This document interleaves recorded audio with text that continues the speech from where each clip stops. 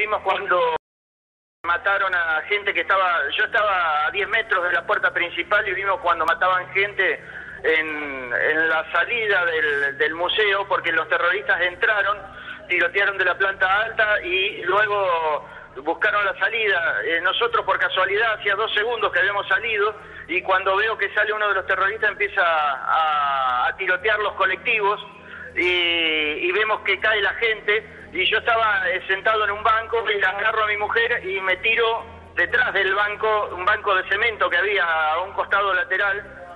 Y eh, veo que el terrorista se iba, venía hacia nosotros. Y cuando quiere tirar hacia nosotros no, no, no nos ve más porque estábamos eh, cuerpo a tierra en, en- abajo de los bancos.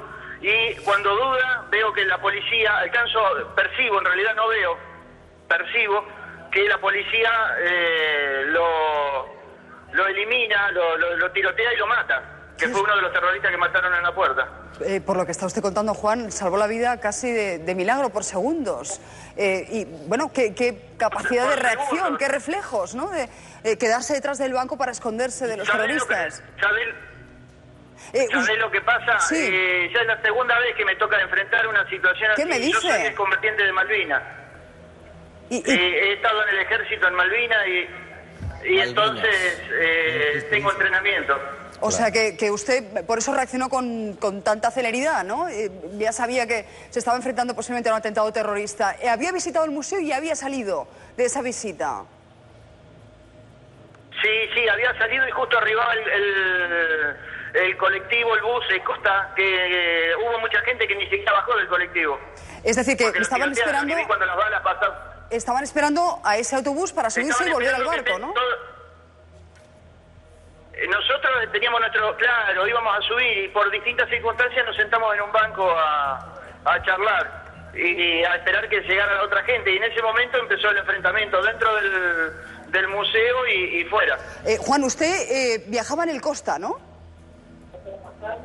No, no, yo viajaba en el MSC. Ah, en el MSC Lo que también. Pasa es que los dos micros, los dos buses. Sí. Sí, diga, diga. sí, sí. Eran compartidos. ¿Cómo sigo arriba? Eh, entiendo que los, que los Sí, autobuses eran compartidos de, eh, tanto de pasaje del MSC como del Costa, ¿no? No, no, no, no, no eran compartidos, eran distintos ómnibus, distintos Sí. colectivos, pero eh, estacionaban uno al lado del otro, De eran acuerdo. todos próximos. De acuerdo. ¿Cuántos terroristas pudo ver usted? ¿Y nosotros, cómo? ¿Cuántos terroristas pudo ver usted?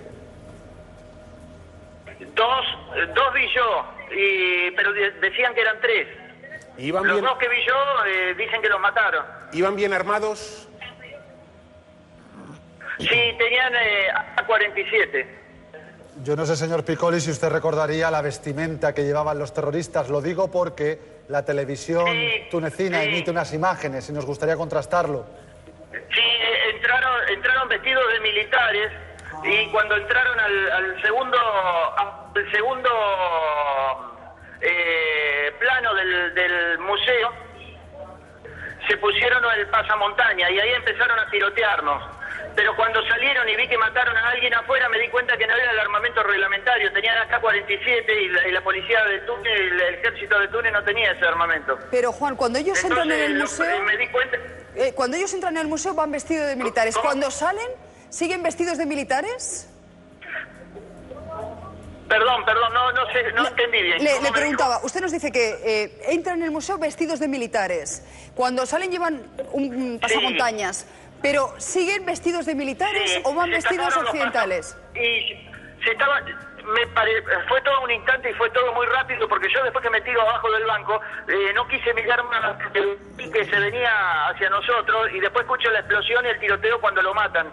Pero y después no miré más, salí corriendo y me fui hasta eh, un, eh, un cuartel militar que había enfrente y me eh, de, de- de la milicia tunecina y eh, me abrieron la puerta y me dejaron entrar. Eh, ¿Sabe por qué insistimos tanto, Juan? Porque hay cierta confusión. Hay quien dice que vio a los terroristas, y de hecho estamos mostrando imágenes de los terroristas abatidos, eh, con ropa eh, occidental, eh, propia de cualquier eh, turista, de cualquier joven turecino. Pero, en cambio hay quien dice que No, les ha visto no. vestidos de militares. Por eso que no sé si son grupos distintos. Sí, yo vi, yo vi de militares. Yo lo que creo, lo que creo, lo que creo que ellos entraron vestidos de militar y luego se sacaron la ropa. Eh, Estando en el museo. O sea, tenían una chaqueta en vamos a el ver. museo, en el museo. Ellos entraron de militares en el museo, fue el tiroteo, se sacaron la ropa y quisieron salir como turistas. Podría ser, Así podría ser. el arma y tendrían una buena excusa para huir con una vestimenta La normal. Eso tiene información que mucha aporta el lógica. testigo directo es vital. Ya no tienen que esconderla. Si vas vestido de militar, Claro. puedes llevar el Puede arma llevar la encima. pistola ostensiblemente. ¿Sabes, Claro. sabes lo que pasa? Que el señor Ellos Piccoli... tenían, eh, en mi país llama, se llama Garibaldina. Es una chaqueta de militar eh, que, que- que aparenta ser militar, pero no es militar. Miren, en caso, hacía normal en el caso- uso de un arma, En claro. caso de que se confirme en primer lugar que estas imágenes que ofrece la televisión tunecina corresponde con los terroristas, hay una imagen que llama mucho la atención. Si ves los cargadores, están unidos por cinta aislante. Sí. Eso duplica inmediatamente la capacidad de disparo del arma al no tener que cambiar de cargador o hacerlo Sí. muchísimo más rápido. Y el señor Piccoli, que tiene formación militar, él mismo cayó en la cuenta de lo distinta que es el arma austríaca que llevan los militares tunecinos con el arma soviética que estamos viendo en las pantallas. Pero aún así, aún así, Sí, sí, pudieron sí. llegar hasta donde llegaron. Eh, Juan, una cuestión. Claro, En- lo que pasa es que hay una observo que el museo es un blanco terrorista por la cantidad de turistas que van al lugar y ni siquiera tiene un escáner, no tiene con un, un sensor de metal, el- ellos entraron como si no estarían en su casa. Es yo lo que recrimino es que a nosotros nos llevan como turistas sin ningún tipo de cuidado y nadie nos dice, nos advierte de la peligrosidad.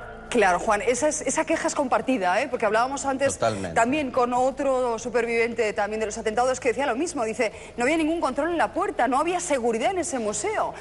La había en el Parlamento, Oye, pero no en el nosotros No se museo. nos dijo nada. Ya. Que Sí, si sí, exactamente. Falta de previsión. Una cuestión, Juan. Eh, cuando entraron en el museo, ¿iban a matar turistas? ¿El objetivo era asesinar cuantos más Sí, pudieran? Sí, sí, sí, sí, porque el impacto iba a ser mayor, matar turistas. Porque fíjense que mataron a tres tunecinos, nada más.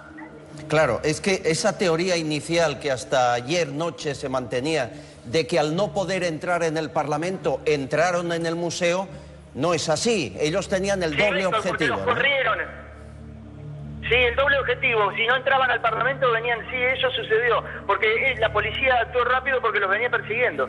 Lógicamente en el Parlamento sí se parapetaron con la policía, sí no pudieron entrar en el Parlamento, en el museo no- nadie se lo impidió claro, y de ahí los 20 turistas asesinados. Sabía que había pero víctimas entonces- Sí, seguras. señor, correcto. Pero entonces eh, cabe pensar que su primer objetivo era el Parlamento Claro. y que fallaron, Claro. eh, no pudieron pasar El los controles el del Parlamento, claro, y fue entonces cuando... trataba una ley. Ya, el- el- es- efectivamente ley se está una ley de seguridad, una ley antiterrorista que, que posiblemente era lo que ellos querían frenar. Eh, cuando no consiguen eh, Sí, esa correcto. acción, van el plan B. al museo, no encuentran demasiadas dificultades para entrar en el museo, acribillan a una serie de turistas en el museo y lo siguen haciendo por lo que usted nos cuenta desde el balcón.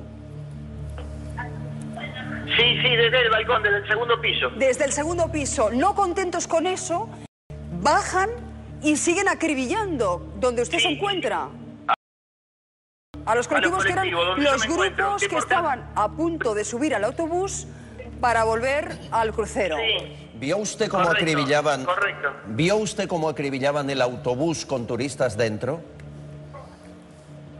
Y yo lo vi y vi también cuando mataron a una persona en la, en la- en la entrada del, del museo. Uno de los, de los subversivos extremistas eh, eh, vi que la empujó al piso y le disparó. Y vi también que se quería sacar la campera que tenía puesta, que era una campera militar.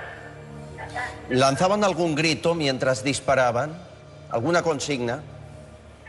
No, no, no, no, eso no lo puedo recordar porque yo estaba Claro, afuera, estaba a unos metros, fue todo muy rápido, no, no, no, yo lo único... Eh, hemos perdido la conexión. Piensen que Juan está viajando en este momento en el crucero, en el MSC, con destino a Barcelona. Eh, le agradecemos muchísimo Pues ese testimonio, testimonio porque además es propio de una persona con formación militar que ha visto cosas que otros testigos Más no han podido importante. apreciar. Y bueno, fíjense, están viendo ustedes imágenes en directo ahora mismo en Túnez. Eh, las medidas de seguridad esta mañana son extremas. Les mostrábamos ya a primera de la mañana cómo miraban los bajos de los coches. Eso, pues lamentablemente no nos se ha hecho en las últimas Nos horas. muestra un recorrido del atentado que se difiere un poco del que pensábamos al principio. Yo creo que hay versiones Perdonadme, complementarias. tenemos al ministro de Exteriores, al señor García Margallo. Muy buenos días.